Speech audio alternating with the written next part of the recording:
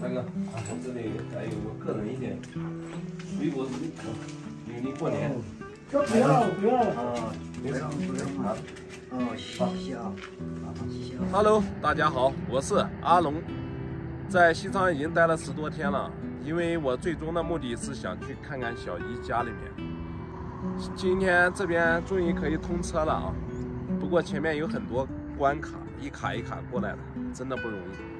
没想到往下面走啊，这边的天气是格外的冷，刚刚还下了下下来很多雨，我穿成这样都受不了。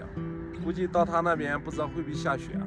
现在从那西昌开车到他那边要三四个小时。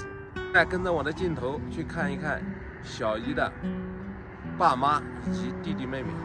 走。龙哥，啊，你这一路开车挺挺累的吧？开过来真的几千公里都开过来了，要不放？要不放我来开吧？没事，我应该可以。我已哭到沙哑，爱过恨过的我就像个笑话。曾向往的梦被你狠心抛下，觉得过太难了一路堵到现在啊，现在已经是晚上的八点半了，天也黑了。然后走在这里，我就想起啊，大家知道这里是哪里吗？对，这里就是我第一次和小一相遇的地方。他刚好在这里拦车，然后我们在这相遇。走在这里，我五味杂陈，真的。然后今天也太晚了，现在我们准备去找个住的地方，明天再去看看小姨的父母。好，今天在这边联系到，你是他叔叔？呃，叔叔对，啊，联系到小姨的叔叔了。然后这叔叔，然后带我们过去啊。对对对，好好，那就辛苦你们了啊！哎，是是是叔叔，啊，你也是小叔叔，一个姓的。啊啊啊！那行，那我们现在就到他家。好的，快去。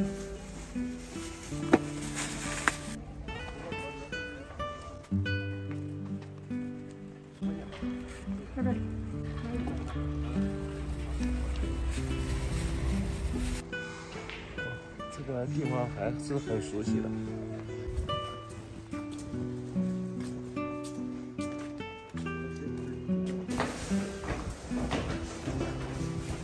哎，这个天有点难跑。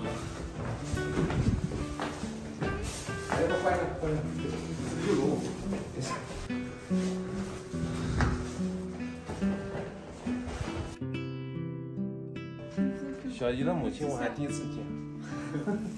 来来，哎。啊，你好。他不会讲普通话，普通话不会讲。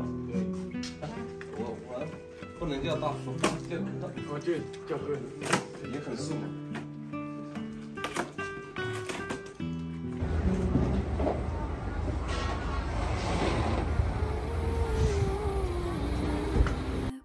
起初，当我一开始到小姨家的时候，结果跟我预想的大相庭径。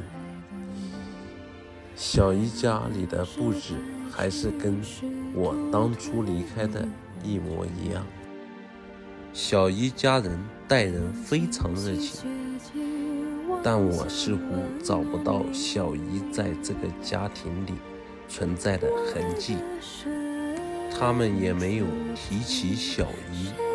接触了解一下以后，我才明白，只要不提起小姨，似乎就可以掩盖他们的伤痛。这是一个贫困家庭，但是他们的父母还是生了五个孩子，小姨排老大，老五今年刚出生，还在被褥之中，生活的困难让他们生活过得麻木，失去家人的伤痛只属于苦难中的一部分，他们也习惯于逃避，所以整个过程中我都没有过多的提起小姨。整个环境还需要国家的政策补助。值得我欣慰的是，我已经看到通往大凉山的高速公路正在如火如荼的建设中。要想富，先修路。我坚信，不远的将来，他们的生活也会彻底的改变，眼神中重新充满光亮。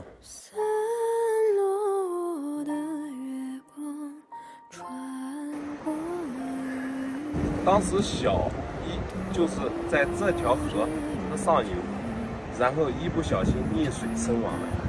那今天我就在这边祭拜一下。是独退于